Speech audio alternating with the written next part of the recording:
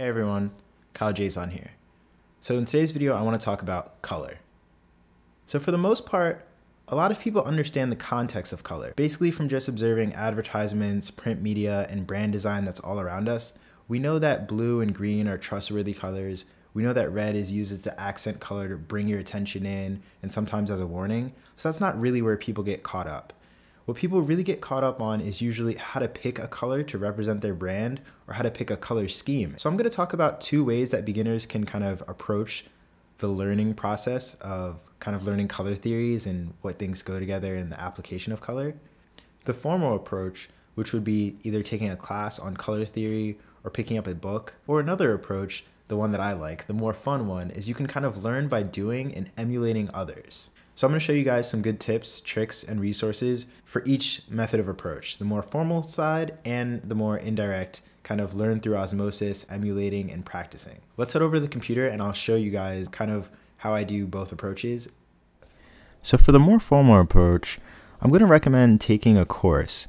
So if you can, if you have the ability, you could take a university course. So most universities offer a intro to design course that touches on color or a more advanced color theory course, and that should get you up to speed with color right away. But if you're not a university student or you don't have the ability to attend a school or a class, you could kind of skip the middleman and get a textbook. And the Interaction of Color by Josef Albers is apparently the standard text. This was actually recommended to me by a digital art student that's a friend of mine. And I'm still working my way through this, but this text has very awesome exercises and examples that really train your eye. It goes over a number of things as well as illusions and the importance of contrast as well as why certain colors play together well in proximity to each other. So this is definitely going to be my book recommendation and the link to this will be in the description below. It's a really awesome text. I'm thoroughly enjoying it. Like I said, I'm still working my way through it, but um, at this point, I would highly recommend it. Now, if you're not someone who can see yourself kind of just flipping through a textbook uh, to learn the basics of color, I highly recommend, if you still want a structured approach, to take a look at hackdesign.org and their lesson on building color confidence. Hackdesign.org is something that I'm definitely going to highlight in another video, my best free web design resources video. Um, so subscribe so you can stick around to get that. Hack Design has these really awesome lessons that are organized into articles, tools, and exercises that you can do, and they really kind of just help you understand the concepts of color as well as play around with some tools that will help you pair things together. Now, as for some standalone tools, my very favorite tool to use in terms of finding inspiration for using colors, and if I'm just curious as to what the values for a color are when I'm browsing around the web, is Colorzilla.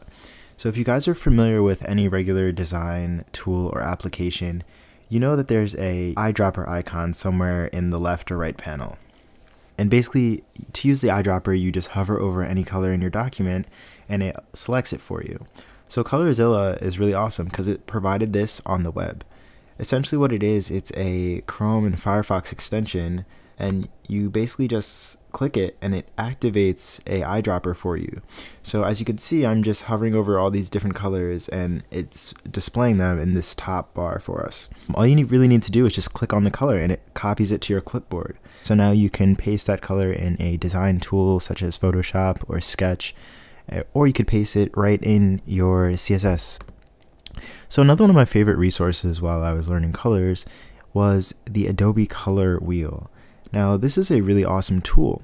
So if you have one color that you like, or let's say a client gives you a logo that has primarily one color and you're confused as to what colors might complement that color, you can go ahead and paste the RGB or hex value of that color inside of this color wheel. So I'm going to just put in um, 1CE, press enter, and then once you put a value in this middle column on the color wheel, you can go through and choose different color rules and it will generate the colors that go with it for it. So if you click on monochromatic, it will bring up those. You click on triad, it will bring up those. And if you click on complementary, it will bring up complementary colors. And then it has the values that you can go ahead and grab and throw into Photoshop, Illustrator, Sketch, or directly into your CSS.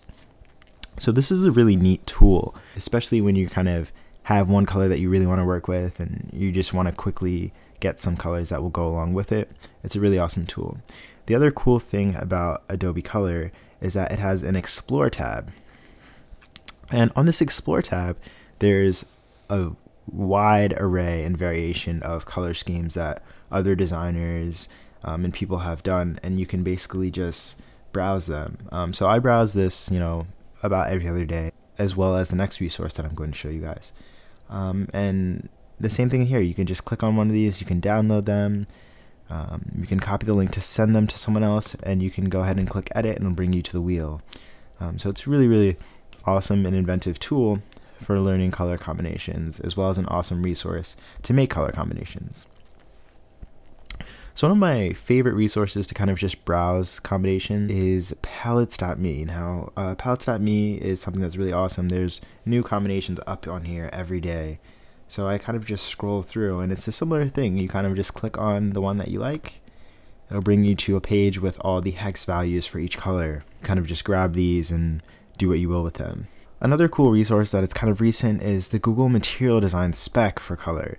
Um, so if you're going along with material design, you're trying to learn material design, and you like these kind of flat, bright, pastel colors, you can go through here and kind of scroll through and view them as well. This is a great resource if you're, you know, trying to do a material design for Android or mobile or something like that.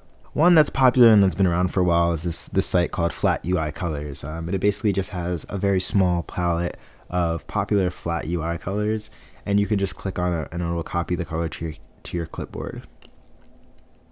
This is one of my favorites for a while. So now I would like to just show you guys a quick tip for those of you who are already familiar with HTML and CSS, something that I do with my color values once I have them, once I've made a color palette, something that I do with my color values to basically help me quickly access them within my CSS file. So I'm to head over to my editor and show you guys kind of what I do. So at the top of a new CSS document, I like to just comment out a section and put like palette at the top of the section and I like to just describe the colors in English or however I can describe them and then just paste the hex values next to them here and as well as the RGB values if I need like alpha for an overlay or something.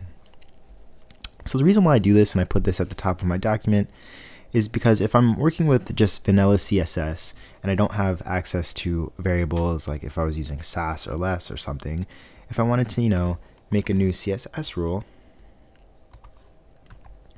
a paragraph, and you know, I want to use one of those colors from my palette instead of just, you know, having to switch panels or go back to Chrome or go back to the color wheel or something like that, or copy a different color onto my clipboard. I have all of the ones at the top of my document. So on Mac, I just do Command up, and then I'm already up here, so I can just quickly highlight and then do Command Z, get back down to where I was, paste the color, oops, paste the color, and then I'm good to go. So that's a little neat trick that I like to do. I'm going to be doing some other color videos on context of colors, picking colors to communicate a certain idea or feeling in some other videos. So stick around for those. If you like that video and you want to stick around for the more advanced color videos to come, as well as some other awesome kind of tutorials just like this one, please subscribe to the channel, share this video and like it if you liked it, and I'll see you guys in the next one.